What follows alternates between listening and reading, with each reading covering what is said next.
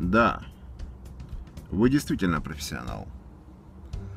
Столько удачных спецопераций, что обзавидуется любой суперагент.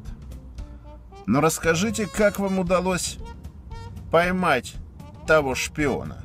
А?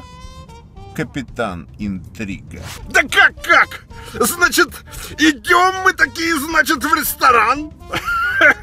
А он и говорит, я бы хотел заказать этого. Я говорю, для того, чтобы заказать это, нужно... Что нужно? Интрига! Ну, а как вам удалось собрать компромат на президента той страны? Да легко, в общем-то.